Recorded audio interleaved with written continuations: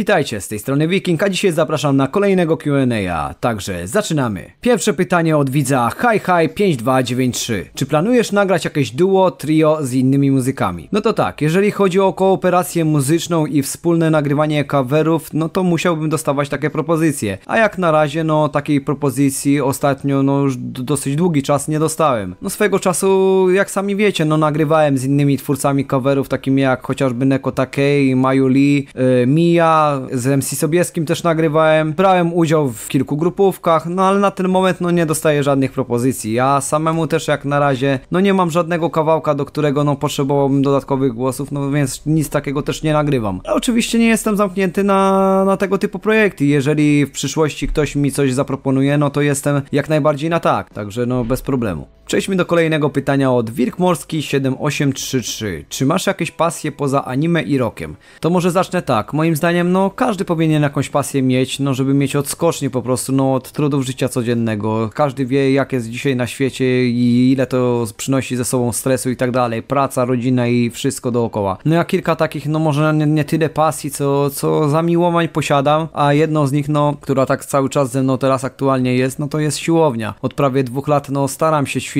regularnie, co no faktycznie, no sprawia mi dużą frajdę i satysfakcję. No i dzięki czemu czuję się dużo lepiej i psychicznie i fizycznie, ponieważ no swego czasu, no doszedłem już do takiego momentu, no że nie czułem się dobrze we własnym ciele. Yy, nawet jak spojrzycie na nagrania sprzed czterech lat i dalej, to zauważycie, że no wtedy byłem aż kwadratowy na twarzy. Ważyłem, nie wiem, około stówki nawet, prawie, yy, przy wzroście 1,75 m, więc no już byłem taką kulką, że masakra, nie? No a w tym momencie ważę około tam 72-73 kg.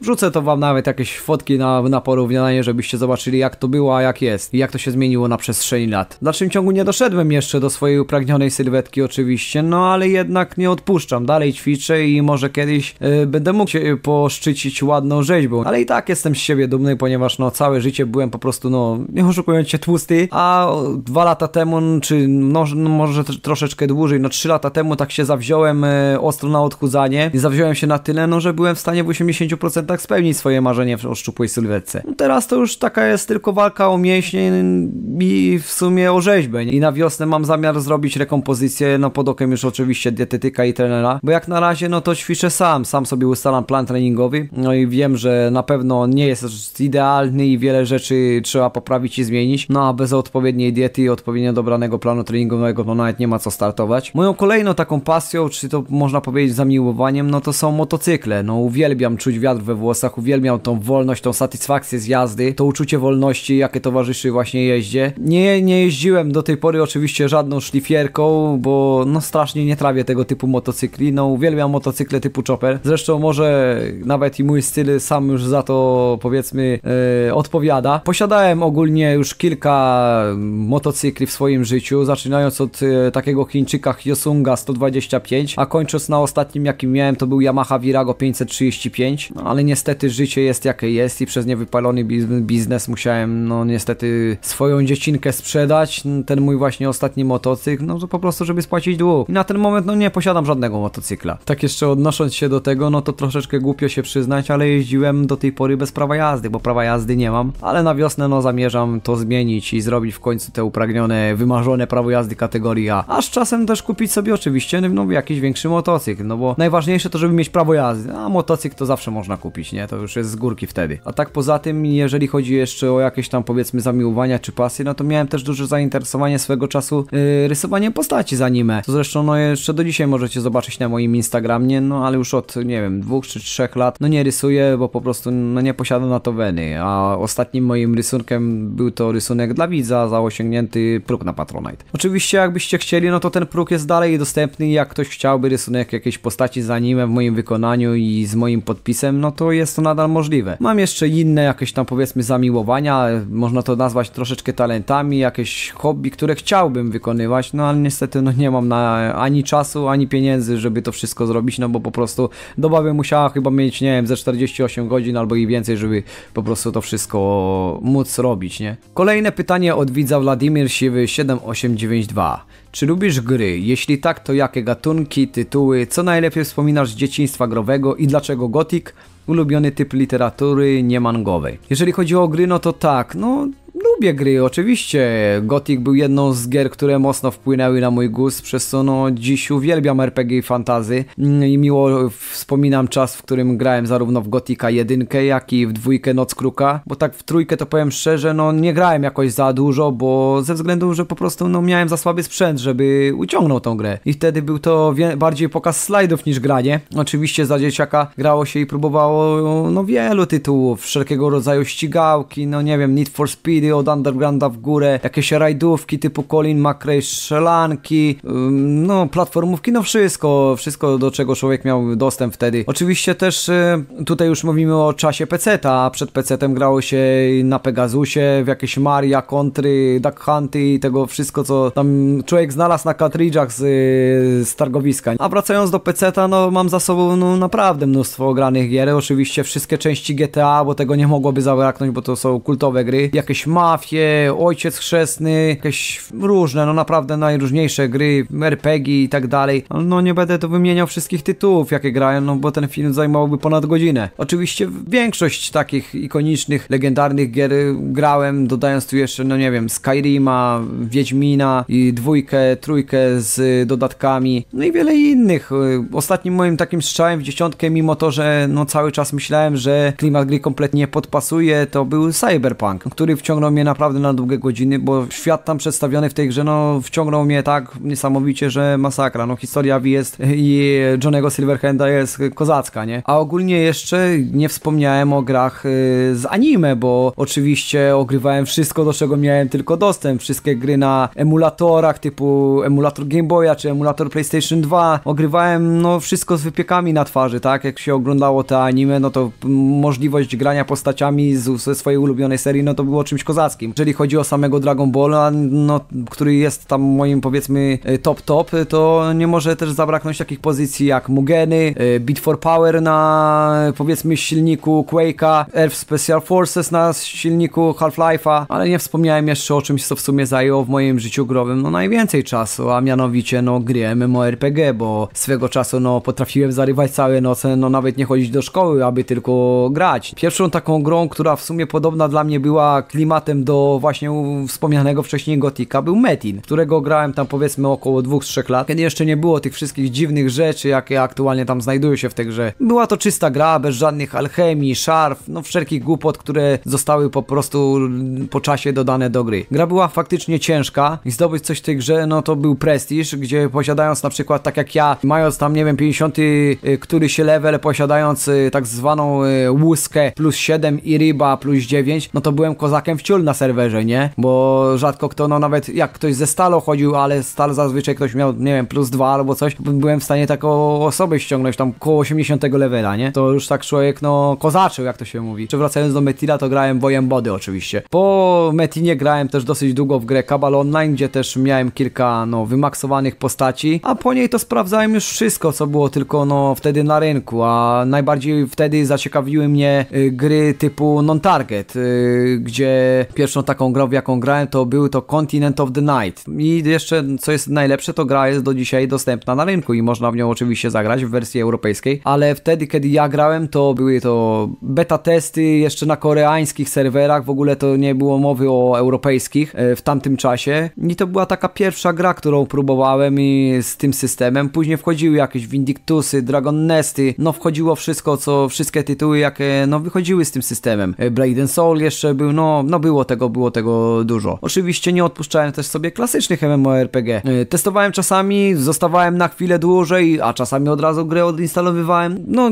wiecie jak jest, no nieraz gra jest taka, że zainstalujesz, wejdziesz do gry i o nie, to nie dla mnie i od razu odinstalowujesz, no to tak samo było w moim przypadku. Jeżeli chodzi jeszcze o MMORPG, to bardzo dużo spędziłem czasu w grze Dragon Ball Online, gdzie grałem też około 3 lat. Yy, zamiłowania do Dragon Balla i klimatu, no jaki stworzyli ludzie, no grało mi się w tą grę niesamowicie dobrze. Oczywiście ta gra nie posiadała europejskich serwerów. Yy, graliśmy na początku na koreańskich serwerach, później na tajwańskich, no i do dziś z wielką nostalgią, no wspominam tą grę, jak i rozmowy na TeamSpeaku, i kawały i, i różne takie bekowe sytuacje, które się tam zdarzały. No i do dziś z niektórymi osobami ma jeszcze kontakt, mimo upływu ponad 11 lat od zamknięcia serwerów, yy, takich powiedzmy oficjalnych. Ale jakby ktoś był zainteresowany tą grą, to na dzień dzisiejszy powstało mnóstwo serwerów prywatnych, które dosyć dosyć szybko i dosyć dobrze się rozwijają, takie jak na przykład y, DBO Crisis, y, DBO Galaxy, DBO Global Revelations i wiele innych. Gra jak na swoje lata, a powstawała ona od 2004 roku, no oczywiście graficznie nie powala, ale jak na grę MMORPG w grafice 3D, to jest dosyć dynamiczna, bo to nie jest żaden twór Tibio podobny, tylko to jest y, taka no oficjalna gra w uniwersum DB,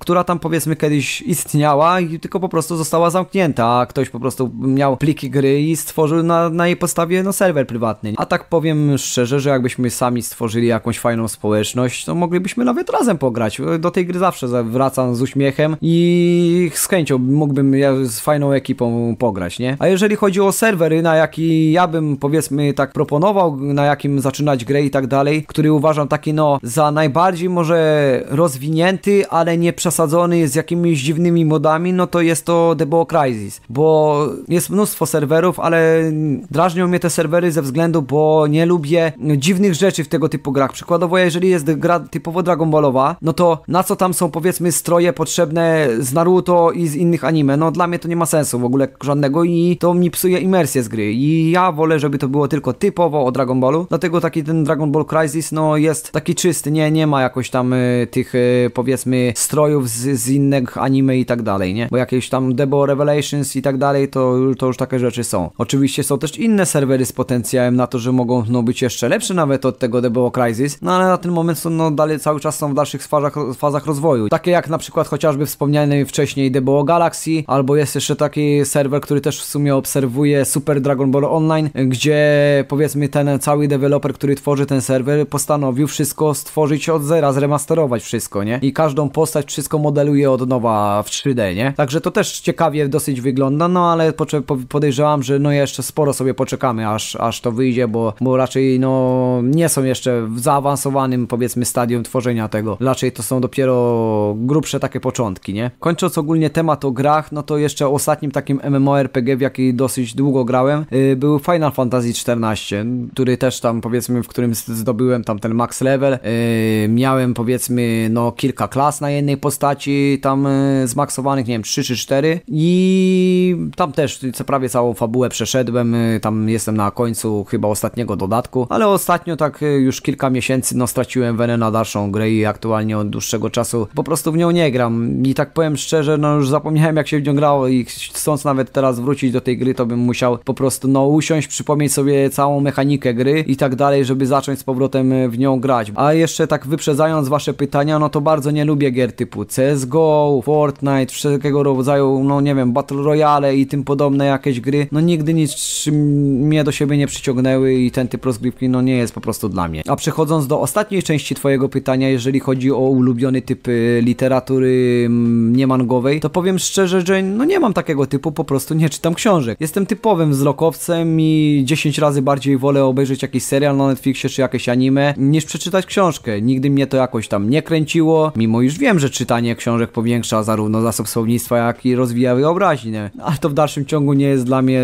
wystarczający powód, aby zacząć czytać, bo po prostu tego nie lubię. Przejdźmy do kolejnego pytania od Ozaru4266. Zrobisz jeszcze inne covery Bon Jovi po polsku, bo twój cover Bon Jovi It's My Life stał się hitem w moim domu i słuchamy go do tej pory. To może tak. Odpowiem ogólnie na wszystkie pytania, które padały odnośnie coverów. To może troszeczkę zabrzmi głupio, ale nie pytajcie się mnie o covery, no ze względów, że to nie ja wybieram, co ma być tak naprawdę następne nagrane. Jak sami dobrze wiecie, no to wy wybieracie to, co ma być nagrane kolejno. A ja tak naprawdę, no nie mam na to większego wpływu, ponieważ, no zostawiam to waszemu wyborowi i waszemu głosowaniu. Oczywiście, no mogę zrobić e, post odnośnie coverów, nie za anime, no i wtedy możecie dawać swoje propozycje, co chcielibyście usłyszeć. A jak będzie kilka propozycji z dajkami, no to zrobimy po prostu ankety i to, co zbierze najwięcej głosów, zostanie nagrane. Możemy nawet coś takiego zrobić na stycznia, ponieważ teraz, no na grudnia to będę nagrywał, no już wybrany przez was opening z Vinland Sagi, a na stycznia możemy zrobić jakiś cover rockowo-metalowy, tak jak miało to miejsce wcześniej na kanale, nie? A też nie mogę nagrywać, no wszystkich waszych propozycji, bo po pierwsze, no ze względów finansowych, no bo mnie po prostu na to by było nie stać, po drugie ze względów logistycznych, bo może nie tyle ja, co powiedzmy Julka i Axel, no nie daliby rady ogarnąć tego, jakby było tego za dużo, nie? No a po trzecie, no ze względów tego, że zazwyczaj y, podajecie przykłady jakichś bardzo niszowych coverów, nie? Czy to z anime, czy to normalnej muzyki, a chcąc coś nagrać, no to też chcę, żeby ta praca, którą włożymy razem z ekipą w dany cover, no nie poszła na marne, bo powiedzmy zamiast zebrać kilka tysięcy wyświetleń, będzie miała tylko kilkaset albo kilkadziesiąt, nie? I nie będzie po prostu zainteresowania danym coverem, nie? Okej, przejdźmy do ostatniego pytania na dziś od widza Pixie 2. Już wiem, że widza. E, który twój cover uważasz za najlepszy, a który uważasz, że wyszedł najgorzej? Jesteś z niego najmniej zadowolony. No to zacznę może od końca, bo będzie po prostu łatwiej. Jeżeli chodzi o cover, z którego jestem najmniej dumny, no to